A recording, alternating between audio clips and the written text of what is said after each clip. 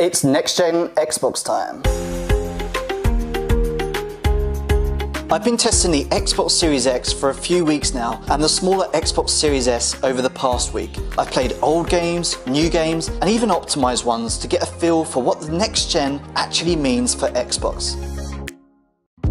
The larger Xbox Series X comes closer to a PC-like experience for consoles than we've ever seen before. Everything looks and feels like an Xbox, but it all feels a lot smoother and a lot faster without being radically new.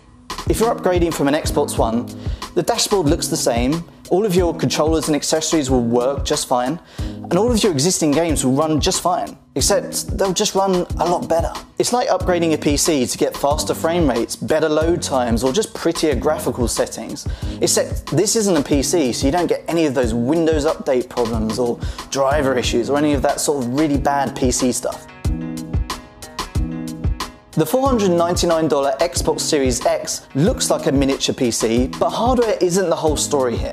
This next gen Xbox is missing out on the truly next gen games that really show off the performance of the console, and just the thrill that you get from something brand new, at least for now. The Xbox Series X is a big and boxy console. It looks best standing vertically like a smaller PC tower, and if you set it down horizontally, it kind of looks like it fell over because you can't remove the stand. Up top, there's a green colour underneath the grille, which isn't actually an LED. It's where the fan sits to push out warm air. Now, I've never heard this fan at all, not even once. I felt the air exhausting out of the top, but it's pretty much the same as my Xbox One X. Never really been an issue and not too hot to touch.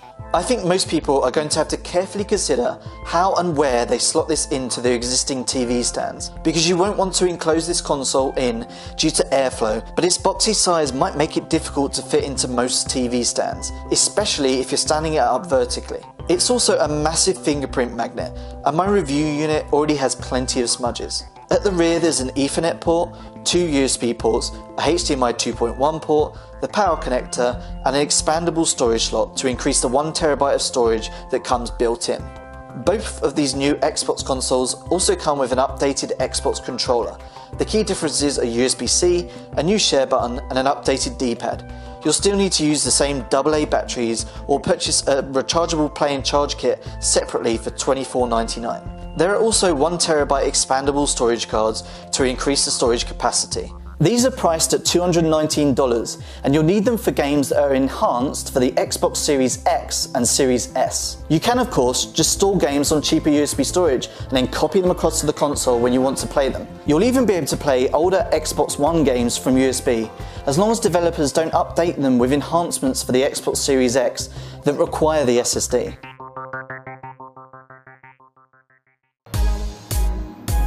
If you were hoping for a brand new dashboard on the Xbox Series X, then I'm sorry, it's the same one from the Xbox One, but with some minor tweaks and new animated backgrounds. Microsoft has mostly cleaned this dashboard up so it's less of a hassle, but I still find the guide a little bit cumbersome to use at times. The real changes I started to notice with the Xbox Series X are with the games that you play on this console. Everything just feels faster. Frame rates are higher in certain games, load times are better, and everything just feels just generally smoother in gameplay overall. Warframe loads in around 30 seconds on the Xbox Series X, while on the older Xbox One X it takes almost a minute longer. I mean just look at how long this takes to load on the Series X. I'd usually have time to grab a drink, you know, check some emails or run around the block before the Xbox One X had even loaded a game. But now, you know, the Xbox Series X, it just, everything's a little bit faster.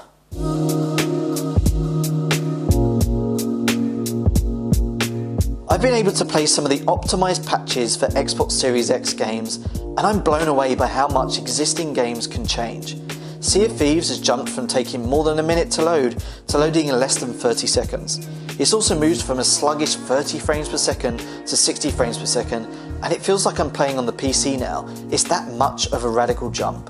I've also been testing out Dirt 5 and Gears 5, which both include a new 120Hz mode. In Dirt 5, the resolution drops to 1440p rather than 4K, but you get nearly a constant 120 frames per second and buttery smooth gameplay. It makes a big difference to input latency, so when I'm cornering, the car just feels that much more responsive. It's the same in Gears 5, which also has 120 frames per second mode in the multiplayer version of the game. Running around the arena feels really smooth and responsive. These modes, alongside similar options in Yakuza Like a Dragon, are great for player choice. There are even more games coming with 120 frames per second support, and I'm hoping we see more titles continue to let players choose between 4K or performance modes, or just lots of flexibility in between. I love this freedom of choice, and it reminds me of the graphical options you get on PC. The Xbox Series X also has a new quick resume feature, and this is one of my favourite additions. It lets you quickly swap between multiple games, and they all individually resume in around 10 seconds or so of swap time.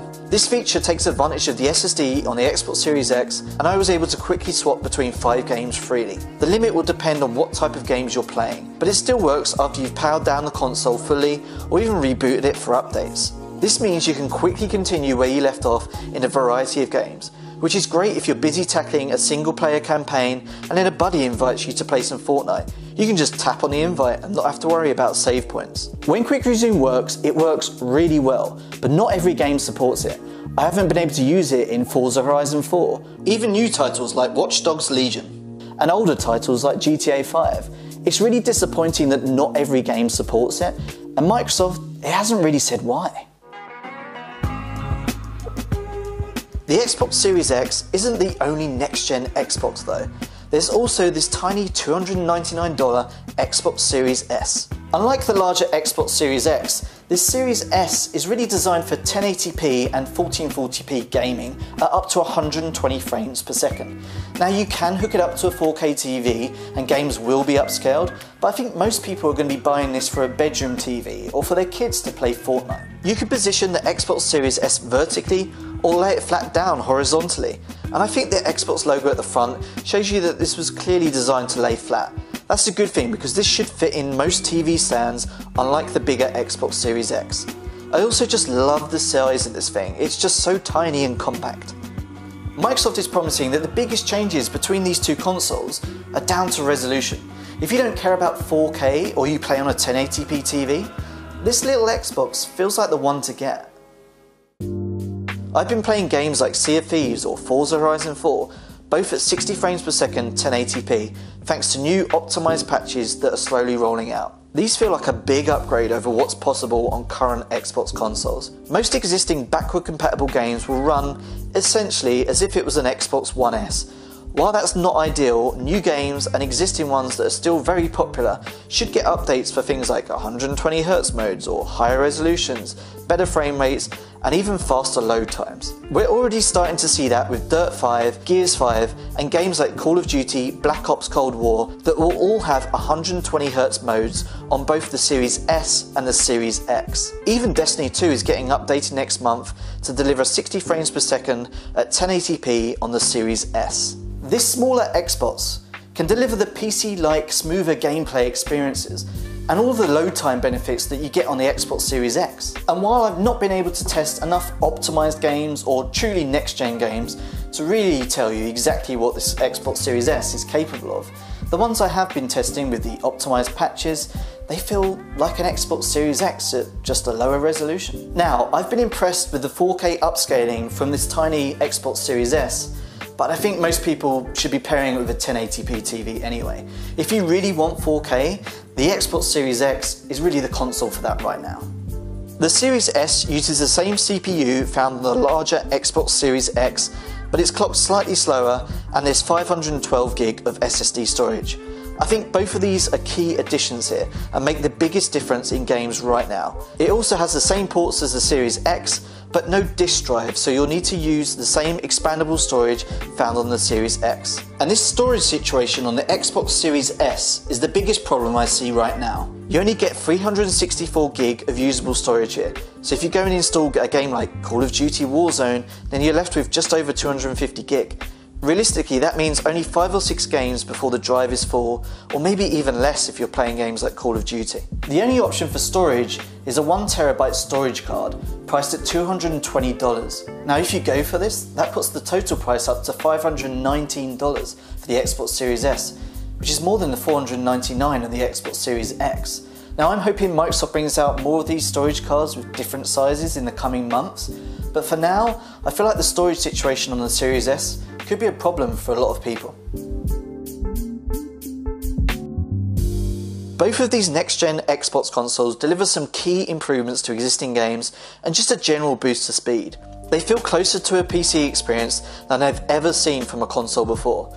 That seems like a very deliberate choice by Microsoft, and you can feel it throughout the Xbox Series X and S. If you upgraded from a GTX 1060 gaming PC to the latest RTX 3080, Windows 10 would be the same Windows 10 you know, and all the games would be there that you've had for years, but everything would look and feel that little bit faster and just look better. And that's exactly what the Xbox Series X and the Series S feel to me. You take everything you already own, even accessories, and it all works and it runs better.